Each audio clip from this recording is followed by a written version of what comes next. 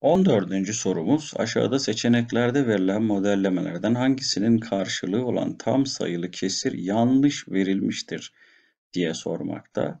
Şıkları tek tek inceleyelim. A şıkkında bir tam ve yine bir başka tam verilmiş. Diğer tam ise iki eş parçaya bölünmüş ve bunlardan bir parça alınmış. İki tam elimizde var. Burası doğru.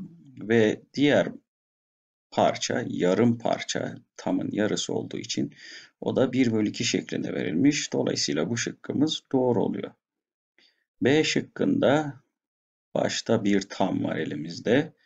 İkinci tam 4 parçaya bölünmüş. 1, 2, 3, 4 bakın.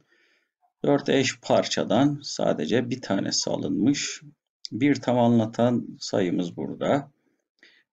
B diğer parçayı anlatan, dörtte bir parçayı anlatan kesirimiz ise burada. Dolayısıyla bu da doğru olarak verilmiş.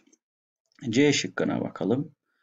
Bir tam var elimizde. Yanında yine bir tam daha var. Şu anda iki tam oldu elimizde.